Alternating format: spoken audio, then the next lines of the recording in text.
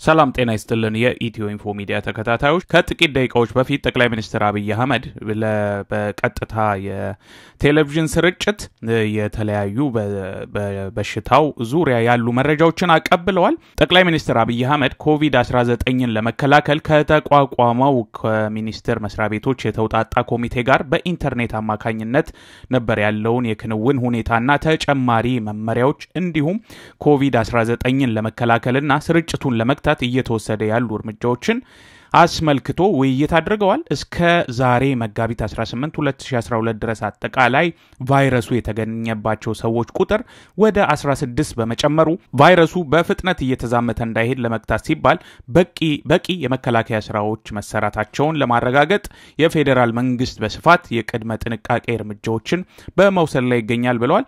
ከውይይቱ በኋላም ጠቅላይ ሚኒስትር አብይ አህመድ የሚከተሉትን ተጨማሪ ቁልፍ እርምጃዎች ይፋ ያደረጉ ሲሆን ጥሪም አቅርበዋል። አንደኛ ከዛሬ ከሰዓት ጀምሮ ወደ አዲስ አበባ የሚደርሱና ለለይቶ መከታተያ በተዘጋጁ ሆቴሎች ለመቆየት አቅም የሌላቸው መንገደኞች ወደ አዳማ ሳይንስና ቴክኖሎጂ ዩኒቨርሲቲ ተዛውረው ከውጭ ወደ ኢትዮጵያ የሚመጡ መንገደኞች ለ15 ቀናት ተለይተው እንዲቆዩ የወጣውን መመሪያ ተግባራዊ የሚያደርጉ ይሆናል ተብሏል። ሁለተኛ ከዛሬ አንስቶ ለተጨማሪ ሁለት ሳምንታት ከፍተኛ የትምህርት ተቋማትን ጨምሮ ትምህርት ቤቶች ተዘግተው የሚቆዩ ይሆናል። ሶስተኛ በገበያ ስፍራዎች እና በሃይማኖት ተቋማት ውስጥ ማህበራዊ ርቀትን መጠበቅ በጥብቅ ተፈጻሚ ሊደረጉ ያስፈልጋል። የፌዴራል መንግስት አስከፊ ብሔራዊ አደጋ በሚከሰት ጊዜ ሃይማኖታዊ ስብሰባዎች እንዲቋረጡ የማድረግ ህገ መንግስታዊ መብት አለው ብለዋል። ሆኖም በህገ መንግስቱ የተደነገጉትን እርምጃዎች ተግባራዊ ከማድረጋቸው በፊት ዜጎች የማህበራዊ ርቀት መመሪያውን ተግባራዊ እንዲያደርጉ በድጋሚ ጥሪ አቅርበዋል።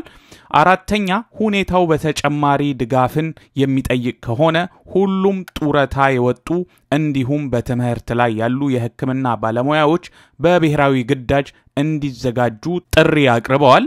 አራተኛ የተለያዩ የተለያየ መጠንና አይነት ያላቸው መገልገያዎችን የያዙ ከ134 በላይ ተቋማት ለለይቶ መከታተያ ለይቶ ማቆያና ሕክምና እንዲሆኑ ተለይተዋል ብለዋል።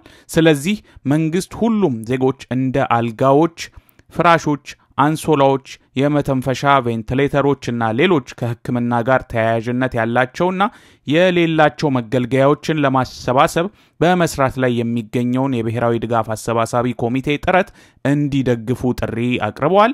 ስድስተኛ የማክሮ ኢኮኖሚ ንዑስ ኮሚቴው ኢኮኖሚው ዘርፍን ደህንነት ለማስጠበቅ የሚያስችሉ አማራጮችን ለመቀየስ በልዩ ልዩ ዘርፍ ከተሰማሩት አበይት የኢንዱስትሪ ባለድርሻ አካላት ጋር ውይይት ሲያካሂድ ቆይቷል።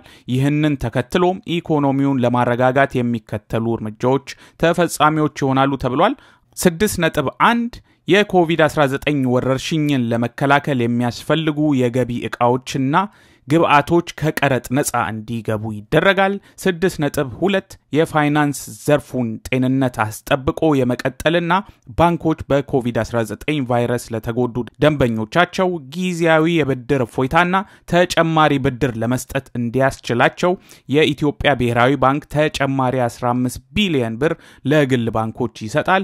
6.3 የውጭ ምንዛሪ የሚያስፈልጋቸውና የኮቪድ-19 ወረርሽኝን ለመከላከል የሚያስችሉ ዕቃዎችንና ግብአቶችን ወደ ሀገር ውስጥ ለሚያስገቡ አስመጪዎች ባንኮች ቅድሚያ በመስጠት እንዲያስተናግዱ ይደረጋል።